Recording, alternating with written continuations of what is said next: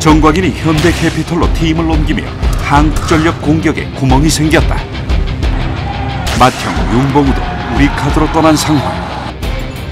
일본 전지훈련까지 함께했던 사이먼 헐츠와 차세대 레프트 김인혁 선수가 팀을 탈퇴하며 위기에 처한 한국전력의 전략은 무엇일까?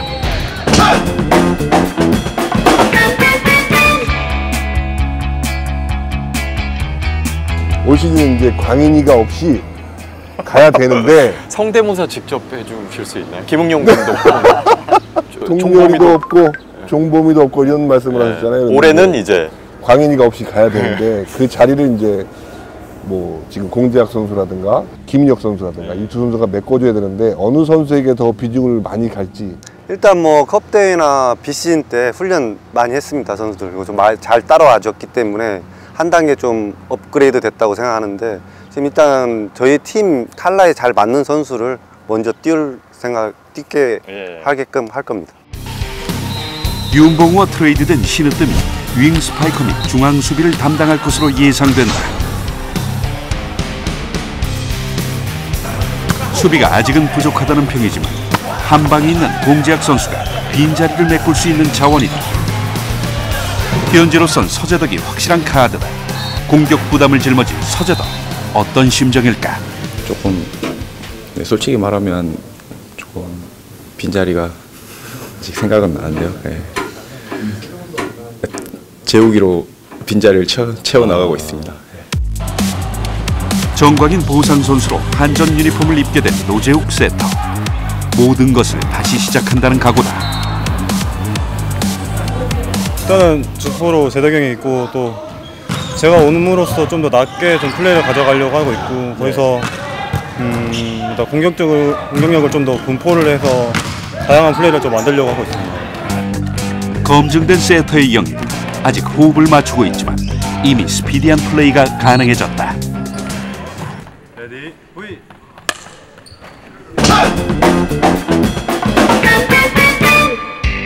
올 시즌 한전의 세터진은 매우 두텁다. 경험과 실력이 어우러진 막강한 야전 사령관이 즐비하다.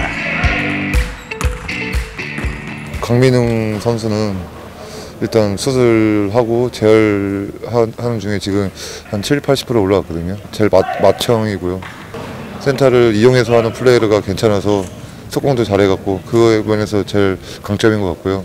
노재욱 선수는 키, 일단 키가 커, 크니까 뭐 빠른 플레이가 장점이고 양쪽 나가는 게 토스가 뭐 타점이 높아서 그 센터들 다른 팀 센터들이 좀 쫓아가기가 힘들 거라 생각하고요. 리시브 강화. 세터 이승현이 리베로로 변신해서 후방을 든든하게 받쳐줄 계획이다.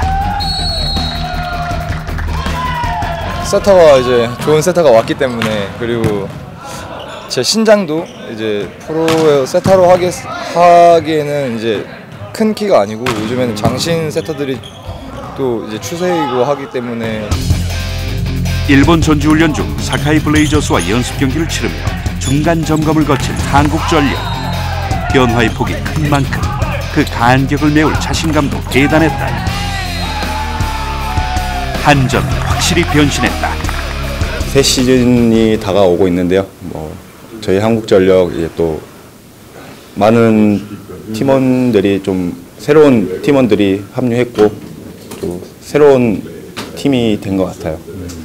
더 이번 시즌 기대도 좋을 것 같고요. 예. 많은 팬들 경기장 찾아오셔서 많이 응원해 주시면 좋은 경기로 보답하겠습니다. 기초공사는 이제 다 끝났다. 올해는 봄배구를 할 수 있다는 믿음으로 똘똘 뭉친 한국전력. 위기가 곧 기회라는 마음으로 완전히 새로운 팀으로 거듭난 상황. 새로운 선수와 새로운 전략으로 날아오를 것이다. 한국전력 화이팅!